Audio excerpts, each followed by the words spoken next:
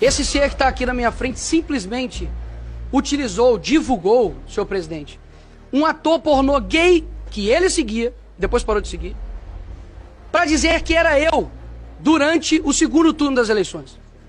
É esse ser aqui que agora está tentando livrar, se livrar de uma perseguição, sendo que, dá só uma olhadinha na ficha corrida, eu tenho currículo, ele tem ficha corrida. Foto com esposa do líder do Comando Vermelho. Se fosse eu, tava pedindo minha cabeça há muito tempo. Estaria pedindo seus robôs para levantarem e cassação já de Nicolas Ferreira. Áudio dele vazado falando que o primo rouba, quer roubar milhões. Se eu, viajando com meu próprio dinheiro para viagens, qualquer que seja, já sou quase que comparado a um corrupto, imagina se esse áudio sai da minha boca. O que, que esse ser faria? Terceiro ponto, áudio insultando assessores.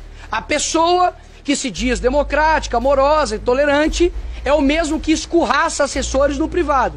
Mas em público é, obviamente, como se diz na Bíblia, né? O diabo se faz até de luz para convencer os demais. Quarto ponto, admite fake news em seus livros, dizendo que é uma estratégia de eleições.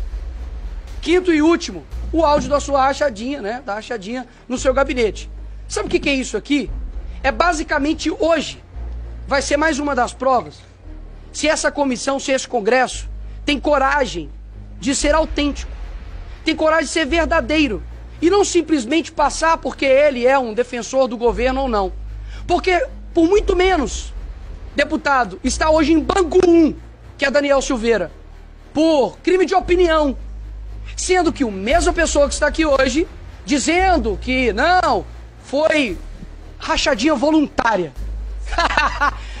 rachadinha voluntária. Em todo o tempo livre que o senhor tem, o senhor não conseguiu raciocinar nenhum argumento melhor? Shame on you, se você sabe o que significa. É impressionante como dia após dia essa pessoa quer acabar com reputações, quer destruir famílias, porque quando atingiu isso a mim, simplesmente comemorou como se nada tivesse acontecido. Esse vídeo é do Nicolas? E ele realmente acha que todo mundo é otário de um dia a conta não cair, de um dia não pagar. Mas é o seguinte: o STF pode fazer o que ele quiser, mas há uma lei que jamais ele vai poder derrubar aqui nesse país, que chama-se a lei do plantio, Janones. Aquilo que você planta, você colhe. E por muitas das vezes, você se safou dizendo que. Você sabe que o Alexandre de Moraes é meu amigo, não é mesmo? Você disse isso no Twitter. Dizendo o seguinte: que compensa a criminalidade no Brasil, basicamente. Compensa ser corrupto no Brasil. Então o que eu tenho a dizer para você é que mesmo, mesmo que, porque não me assustaria de você se safar dessa. Que eu sei como é que funciona. Até mesmo porque em três instâncias o teu presidente foi condenado e hoje ele é, ele é, hoje ele é presidente da república, né? Aí o que acontece? Eu não me surpreenderia dessa comissão hoje livrar o coro dele. Mas o que nunca vai mudar vai ser quem você é.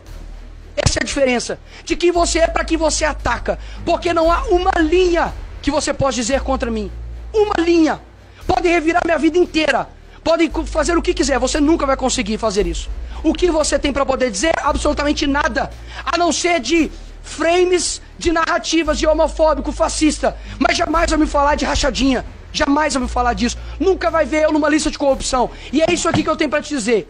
Então, o que o Brasil vai ver, e pode ter certeza que isso aqui vai rodar e muito, não somente em Minas Gerais, porque o triturador de urnas aqui, eu espero que seja triturado hoje. Obrigado. Sargento Faú. Palavra deputado.